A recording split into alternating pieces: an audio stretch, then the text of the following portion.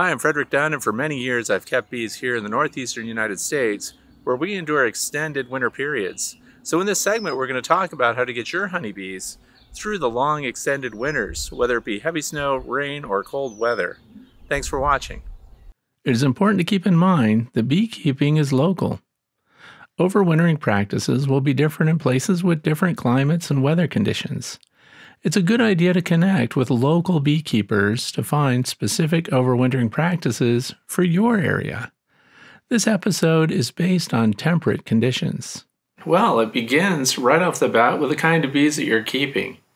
The best bees are going to be those that are locally adapted already.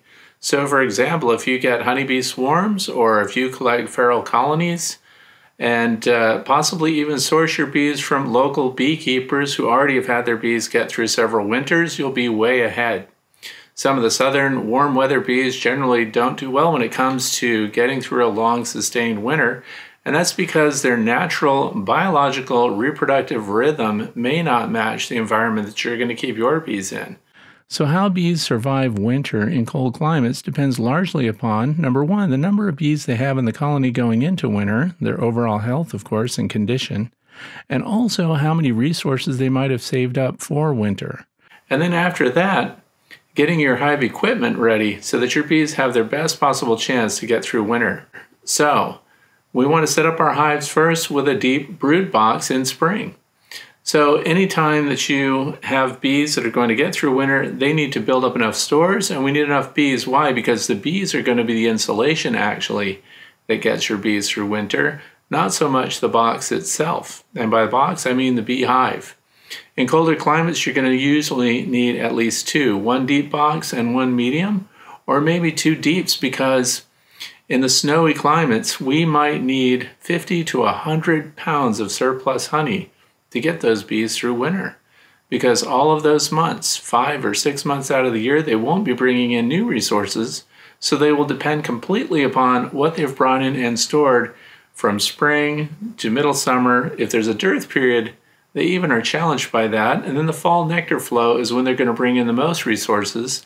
And the foraging bees are going to die off, and then they're going to produce nice, fat winter bees that don't forage at all, but rather store fat and get heavy bodied so that they can generate heat inside that cluster and preserve the brood that are going to sustain them into the following year. A strong colony is going to be indicated by a lot of bee activity on days when the sun is shining and the weather is clear and warm. Generally, if it's above 61 degrees Fahrenheit or 17 degrees Celsius, you can expect to see lots of bee activity. When the colony is queen right, that means that she's laying eggs and there should be larvae being attended to inside that colony by the nurse bees. So, how do we see the resources that are coming in for the bees that are developing? The larvae. Well, we're going to see lots of pollen coming in. And if you see at least, this is a general rule of thumb, if you see at least 10 or more foraging bees coming in with pollen on their hind legs within a minute, so every minute 10 or more bees with pollen, generally you're queen right, which means that you have a fertile queen who's actively laying. So if you want to estimate the resources in your hive, you need to do uh, an inspection of it. We need to look at the brood size, you need to look at the workforce size.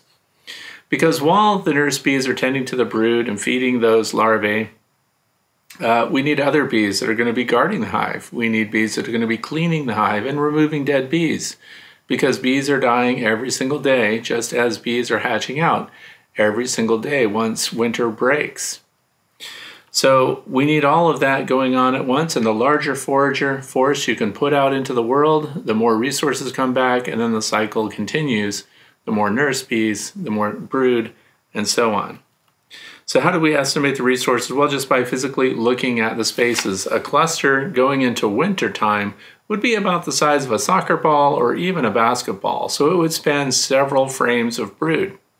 If you have a very tiny brood cluster, then they're going to have a very difficult time getting themselves through winter because remember, the bees themselves are going to insulate, and at the center of that cluster is where the brood will be maintained, sometimes a very small pattern of brood going through winter. In some areas, they are never completely broodless, but the more brood that's present, the more energy they're going to need in order to keep that warm. The brood when it's present, is going to need to be from 94 to 97 degrees inside that cluster. So obviously, the more brood there is, the bigger the area, the more bees are going to be involved in heating the brood and preserving them. Therefore, the more honey and resources they're going to consume as a carbohydrate to give them the energy they need to generate the heat. Another way to estimate the resources is how much weight is on. So there are things like hive scales, but you can be much more basic than that. If there's a lot of honey that's stored in the hive, it's going to be very heavy. And as I said, a medium super might weigh about 47 pounds. So you can physically grab the handles and try to lift it. You know that it's heavy. Remember too that the honeybees themselves have weight. So a nice heavy hive, and if you don't want to lift it because that might be bad on your back, you could try to tilt the hives just a little bit and you can feel the weight. And in fact, you go down the line, and this is where having several beehives at once would benefit you because you can make a comparison. This one seems a little heavy, good to go. This one seems a little light, might need help. So bees will survive winter based on those two things food and the number of bees in the colony. So, going into fall, we want to make sure in cold climates that they have maybe 50 to 100 pounds of capped honey inside the hive. The other thing about that is it's very important where those resources are located. In cold climates, bees are not very good at moving laterally into food resources. Instead, the cluster of bees, which can be about the size of a soccer ball or a basketball, will move vertical. So when they're using their own resources in wintertime, they're going to vertically move about one millimeter per day. So, for example, if you know they're going to go a millimeter a day and you know they need to do that over five months, then it's the number of days times millimeters, and then you'll know if you need 16, 17 centimeters to get them through winter. So, as we go into the fall, going into winter, the first order of business, of course, is to get your bees set up for winter. So first thing that happens is we want them to fill their brood box and we want that to be brood and we want the protein resource in the form of pollen stores and then we want the outskirts of those frames to be full of honey, sometimes capped, sometimes uncapped because it's very fluid. They're filling and consuming from those cells as they rear and attend to the brood. So then the next box up, which is a medium or even another deep uh, that's the one that's going to be filled with nothing but honey this time of year because where's the brood going to stay concentrated? Down low near the entrance where they can vent the brood because they need to clear away the CO2 from the brood and they also need to control their temperature. So the honey stores start to get pushed up higher. So as we add boxes, second box just for the bees, third box, that could be looked at as a resource for the beekeeper. And that's what we take off. So we always want to make sure that they're taken care of for winter as early on as possible, and then any surplus after that, we can reap the benefits from. You may not even take honey off of some of your colonies at the end of the year during your fall nectar flow. And uh, that's because they may have never expanded beyond that deep box and the second box above that, which is their winter survival resources. So once they have that survival resource built up, don't you dare take that off of them. If the structure in the hive is physically light, it might be time to make sure that you have a sugar syrup available for them if your area is not providing what they need. If you open up your colony, you should see wall to wall bees throughout that bottom box. So if every frame isn't full of bees, and if it's only 70% or 60% drawn comb and the rest of the frames are empty, whether that's an 8 or a 10 frame, then it's not time to expand the box. You've got a small colony that isn't rapidly reproducing. And that's why you need to be able to assess colony strength. Look at the brood. If there's a bunch of capped brood, then we know that there's about to be an expanded workforce coming. And that's when we can start to put on those extra boxes. So as you get uh, prepared, let's say we've we've gone through summer, we had a healthy buildup in spring, they had all the resources and food they need. Going into winter, now that we've done all of that, they've stored everything they can, they expanded, you had three, four boxes. Let's say you had a flow hive on there. And so we had a deep box, we had at least a medium, then we had a flow super on there, or whatever other style of honey super you might have had. Once you've extracted honey from a flow super or from another type of honey frame, so once you've got that box done, you take it off. Now we'll take that box off, empty, cleaned by the bees, and we're going to put that in storage for winter. So we need to protect it from mice wax moths and things like that are not such a problem in the colder climates because they're not flying in winter. But we want to put, I use trash bags, but you want to put some layer between each box that prevents anything from migrating box to box. And we're going to put them in winter storage in a space that's unheated. That way we benefit from the cold air and the extreme temperatures that we have environmentally that are challenging the bees are also serving to preserve and destroy any remaining parasites that might be in any of those supers. So once we've removed those, we're packing down the boxes. And this is depending upon how many bees are in the boxes to begin with. So we know we've got the deep, you're not going to get rid of that. That's an absolute minimum.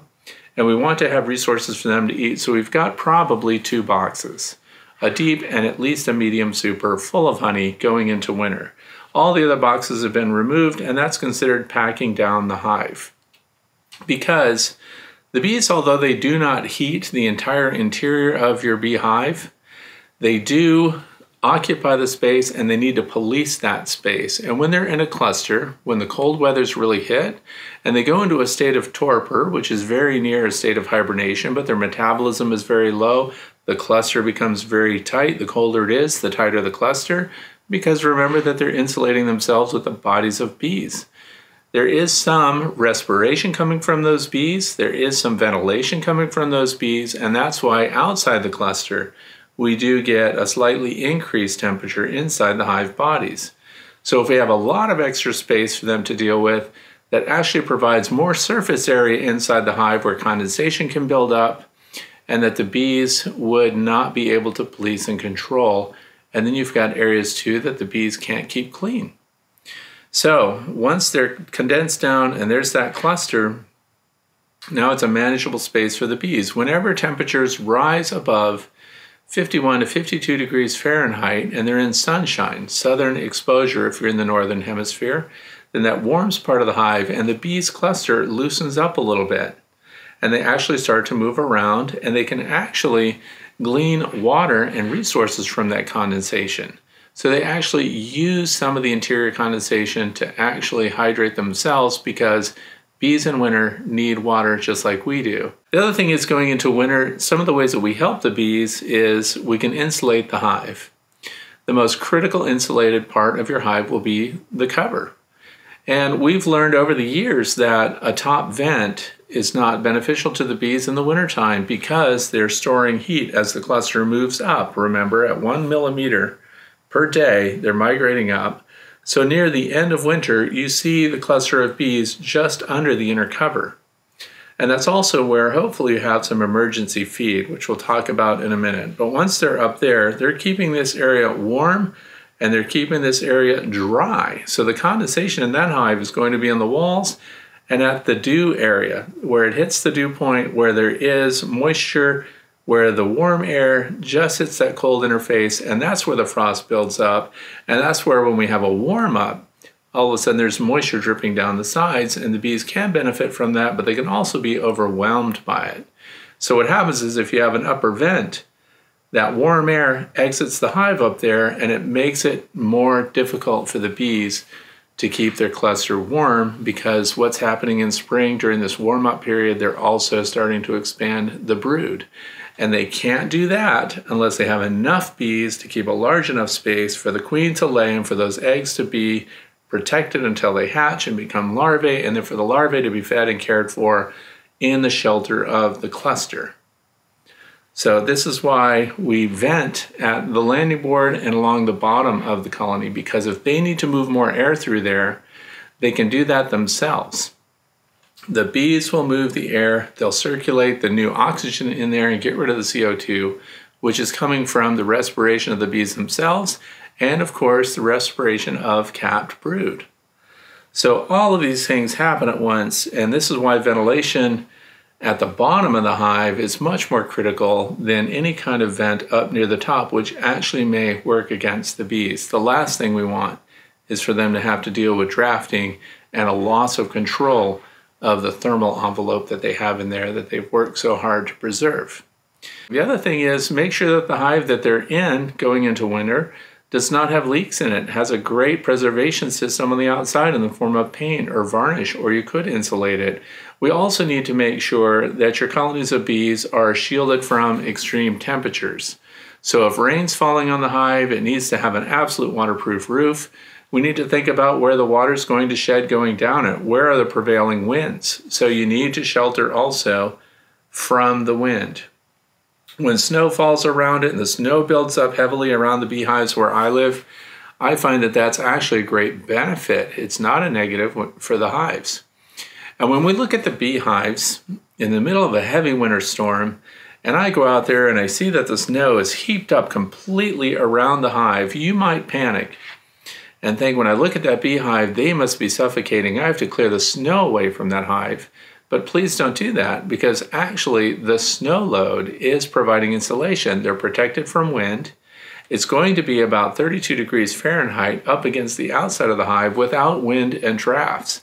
And before you run over there and start shoveling away the snow, it's a great opportunity to look at those hives carefully. So sneak up, look at the landing board, look at the main entrance, and what you'll find out is that the bees have maintained their own little cone of air traffic there. So they've created an open space and kept an open space and moved just enough air to keep up with the falling snow. So these little holes and these little vent pathways are developed and maintained as the snow falls, and the bees do that by moving their own warm air out through and then they use those same openings to draw the cool fresh air in as needed. And honeybees can manage with an extremely small amount of oxygen and a very low amount of air movement. So, this is why it's very important not to open and inspect your beehives during these cold periods of winter because you could be the reason that they lose that very critical tiny amount of warmth that they worked so hard to preserve. Now, if there's no venting, or if you've got a warm up coming and you think they may be needing to fly out, and remember that happens anytime they're above 51 degrees Fahrenheit. If the sun is hitting the hive, they may actually fly out earlier than that. And this is where you need to be really vigilant about clearing out the debris on the landing board and making sure that their entrance is not plugged with dead bees. That's their vent, it's also their exit point. Now, if you've got an entrance that's a little higher up off the landing board, you might want to have something like that that you could open in an emergency on those warm days, and then you see bees flying out there. But if their entrance is plugged with dead bodies, they're trapped and they actually may expire. So don't forget that you may also need to put up a mouse guard. But when you put a mouse guard in, which reduces the entrance for your bees in wintertime, that's an easier space for them to protect.